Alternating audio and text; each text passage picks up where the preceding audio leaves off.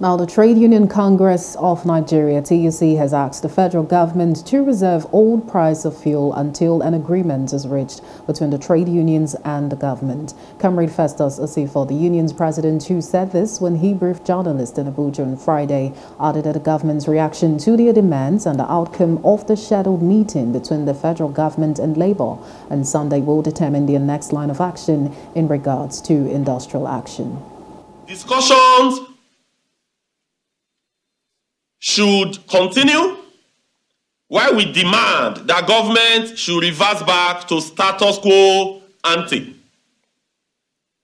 So status quo ante should be maintained while discussion continues.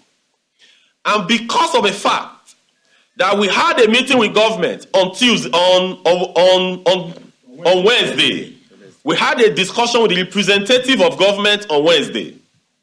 And during that discussion, they gave us a list of what they think they would do.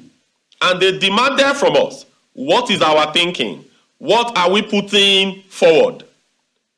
We told them that the list of the things that we want to put forward, we will not submit them now.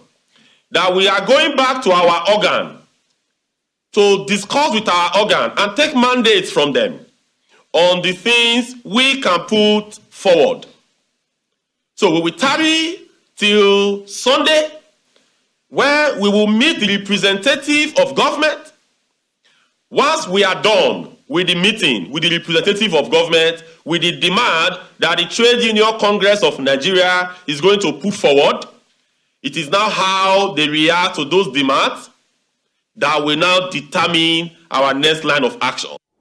Hello. Hope you enjoyed the news. Please do subscribe to our YouTube channel and don't forget to hit the notification button so you get notified about fresh news updates.